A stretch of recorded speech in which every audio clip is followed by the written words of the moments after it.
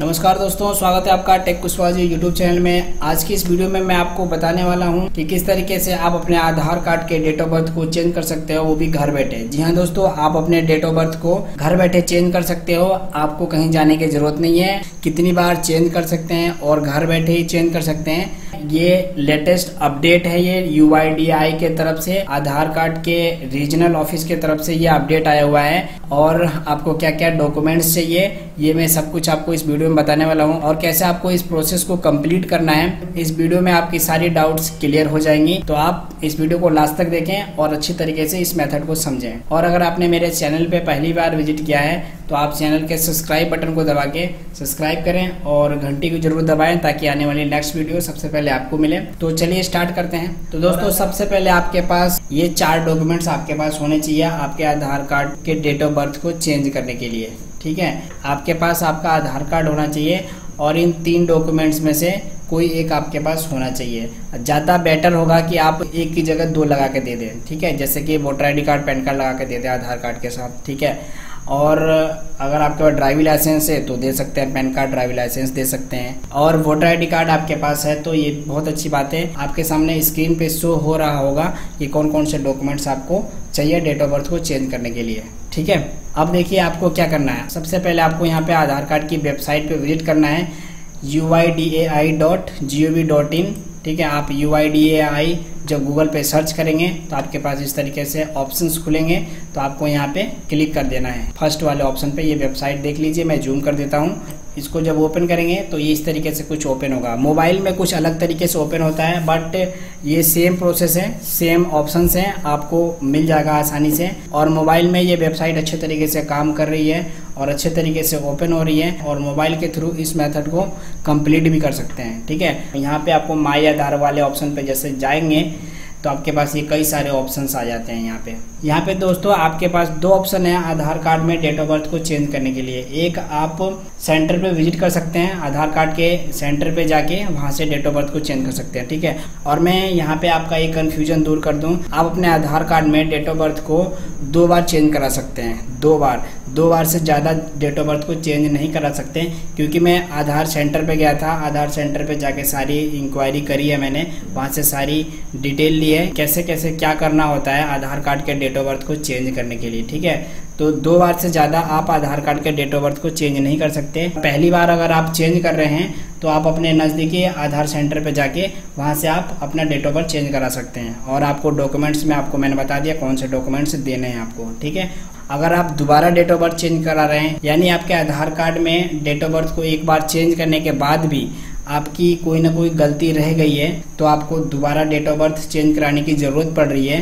तो ऐसे सिचुएशन में आपको, देखिए रीजनल ऑफ़िस पे जाना होगा, ठीक है? आधार कार्ड के जो रीजनल ऑफ़िस होता है, हर स्टेट में एक ही रीजनल ऑफ़िस होता है। मैं आपको बता देता हूँ कि रीजनल ऑफ़िस आप कैसे फाइंड करेंगे। अदरवाइज़ अगर आप चाहते हैं कि आधार कार्ड के डेट ऑफ़ बर्थ को घर बैठे ही चेंज कर दें तो आपको अपने रीजनल ऑफ़िस पे मेल करना होगा। उसके लिए आपको, देखिए यहाँ पे आना है, ठीक है? और यहाँ थोड़ा स्क्रॉल डाउन करना है। सबसे नीचे चले जाना है आपको। स्क्रॉल डाउन करके यहाँ पे आपको देखिए contact U I D A I head office mobile में भी इस प्रोसेस को आप कर सकते हैं। मोबाइल में आपको दिख जाएगा। सबसे नीचे आप चले जाएँगे तो ये दिख जाता है। यहाँ पे toll free number email address यहाँ पे दिया होता है। और यहाँ पे रीजनल ऑफ़िस लिखा हुआ है, ठीक है? इस पर ध्यान देना आप रीजनल ऑफ़िस आप इस पर क्लिक करें और देखिए यहाँ पे लिखा हुआ है गोवा, हरियाणा, ठीक है? तो आप अपने हिसाब से जो भी आपका होगा, अगर मैं पंजाब चूज़ करता हूँ तो देखिए यहाँ पे पंजाब का जो रीजनल ऑफ़िस है, ये यहाँ पे दिखा रहा है। अगर मैं उत्तराखंड चूज़ करता हूँ तो ये दिल्ली पकड़ लेता है डायरेक्ट यहाँ पे उत्तराखंड का भी दिल्ली पकड़ता है, क्योंकि दिल्ली ज़्यादा दूर नहीं है यहाँ से। और अगर मैं उत्तर प्रदेश करता हूँ यहाँ पे तो ये अलग आ रहा है। हर स्टेट का अलग अलग है। मैं अगर यहाँ पे बिहार पे क्लिक करता हूँ तो यहाँ पे रांची। इस तरीके से आपको एड्रेस मिल जाएगा। अब यहाँ भी आपके पास दो ऑप्शन है। या तो आप पोस्ट के थ्रू कर सकते हैं। पोस्ट भेज सकते हैं आप। पोस्ट भेज के आप अपने आधार कार्ड के डेट ऑफ़ बर्थ को चेंज करा सकते हैं। अदरवाइज़ आपको मेल करना होगा, ठीक है? मेल करने के लिए आपको यहाँ पे रीजनल ऑफ़िस को गूगल में सर्च करना होगा, ठीक है? अगर अगर आप जैसे यहाँ पे देखिए बिहार से हैं, ठीक है? तो आपको यहाँ पे टाइप करना होगा। गूगल ओपन करना है। U I D I regional office Bihar. इस पर क्लिक कर देंगे। तो देखिए, इस तरीके से आपको ये एड्रेस मिल जाएगा पूरा।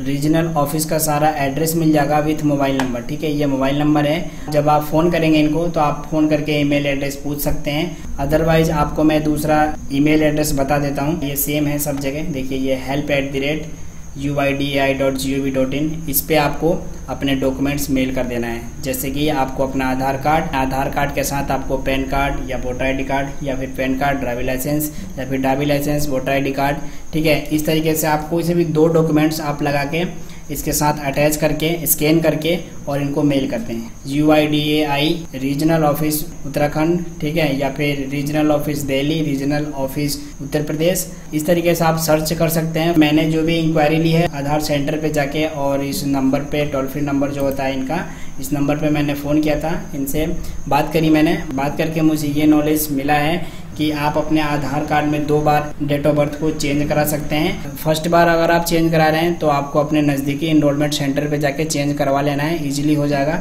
किसी कारणवश आपको दो बार डेट ऑफ़ बर्थ को चेंज करवाना पड़ रहा है तो आपको रीजनल ऑफ़िस पे मेल करना होगा या फिर आपको पोस्ट करना होगा। पोस्ट कर सकते हैं आप इजीली आप यहाँ से एड्रेस फाइंड कर सकते हैं और इस पर पोस्ट कर सकते हैं। अदरवाइज़ आप मेल वाला ऑप्शन अपना सकते हैं और इनको मेल कर सकते हैं। मेल करके अपने डेट ऑफ़ बर्थ में चेंज करा सकते हैं। ये यहाँ पे काफ़ी फास्ट है। आपको करीब 10 से 15 दिन में आपके डेट ऑफ़ बर्थ को चेंज कर दिया जाएगा। फिर से आप अपने नए आधार कार्ड को डाउनलोड कर सकते हैं। देखिए, यहाँ पे आपको पिन कोड डाल देना है। पिन कोड डाल के आप अपना परमानेंट इनरोलमेंट सेंटर को फाइंड कर सकते हैं कि आपका आधार सेंटर कहाँ पे है। और दूसरा है स्टेट मैं स्टेट वाला ऑप्शन चूज़ करता हूँ क्योंकि बहुत से लोगों को पिन कोड नहीं पता होता है। कई लोग ऐसे मिल जाते हैं जिनको पिन कोड में कन्फ्यूज़न हो जाता है कि मेरा पिन कोड क्या है, ठीक है? तो आपको यहाँ पे स्टेट पे क्लिक करना है। यहाँ पे आपको अपना स्टेट चूज़ करना है। जो भी आपका स्टेट होगा, यहाँ पे आसाम, बिहार, छत्तीसगढ़, ठीक है, दिल्ली, गोवा, यहाँ पे स्क्रॉल डाउन करता हूँ और मैं उत्तराखंड, ठीक है?